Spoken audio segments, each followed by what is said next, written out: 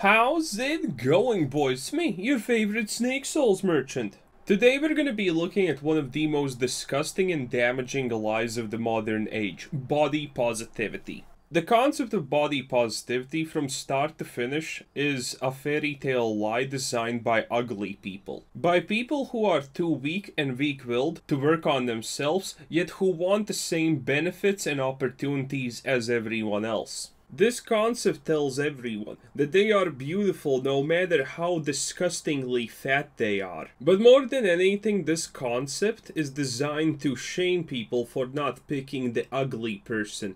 Over the years, as more liberal ideas get implemented in modern day society and get more accepted, coincidentally, also the suicide rate has skyrocketed with it. The concept of body positivity falls under the umbrella of ideas that state that people should not take any personal responsibility of their action, and that no matter what, other people around you should be also accepting and supporting of you. And needless to say, this is obviously a goddamn lie and a trap. As a man, you should always know that there's no pot of gold in the end of the rainbow. There's not even a rainbow to begin with. If you're fat and ugly, it doesn't matter how many times your mom told you it's the inside that matters. There has never been a single instance in the history of humanity where the inside has mattered. Fat, ugly, and don't have money? Well, congratulations, you are dying alone, and there's no way you can change that unless you change yourself. Having an emotional breakdown? Well, you better keep that inside. If you ever show weakness in front of a woman, you will absolutely never be considered even as a remote option.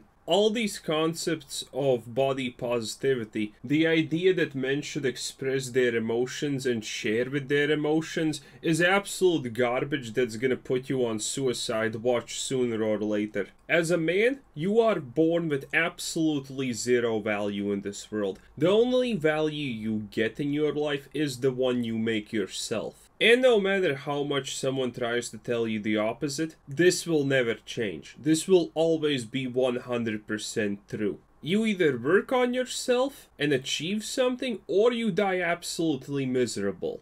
And I'm not talking about being happy as something you should achieve. If you're a man and you're happy with your life, if you're content with your life, you have already failed. A man will never be happy with his achievements. You always strive further, and you only strive for yourself, for no one else. The good things in life come when you do things for yourself. Never rely on others to do anything for you. The faster you understand that you are alone in this world, the better you will be off. And if you're a man and you disagree with something that I said, in a couple of years' time, when you're searching for that how to tie a noose video, and you're trying to comment about how this video is not inclusive enough because it does not consider the 300 pound plus overweight people on how much rope pulling they should have, just remember about this video.